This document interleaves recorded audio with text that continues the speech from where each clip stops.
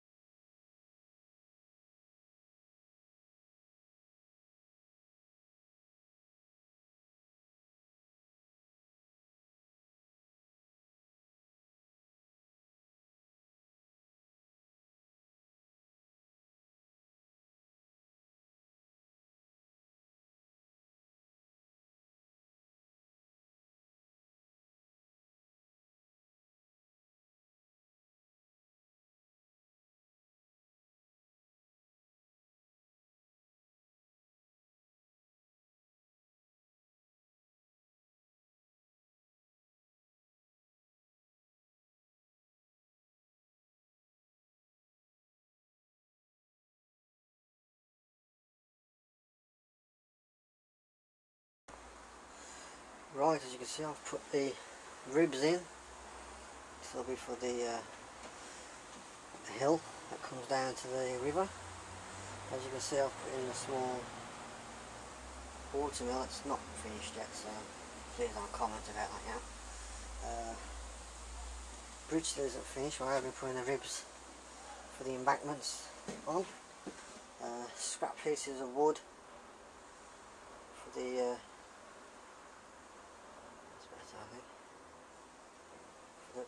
get the height of the ground. Um, this piece of wood here used to resemble this be a, a driveway to the mill. Well the mill's not used, it'll be a, like, a, like a museum type thing because obviously the 60s it wasn't really being used. Uh, not using that to my mouth, that's just giving me an idea of where it's going to go. Also, back scenes in and corked. Also uh, I've gone with that curve thing which is a half tube, plastic tube to give a, a smoother corner rather than a sharp one. And uh, that's about all I've done this week, I haven't done much at all. So I'll try and get on with it. Uh, hopefully get a move on with it a bit more. A few setbacks this week.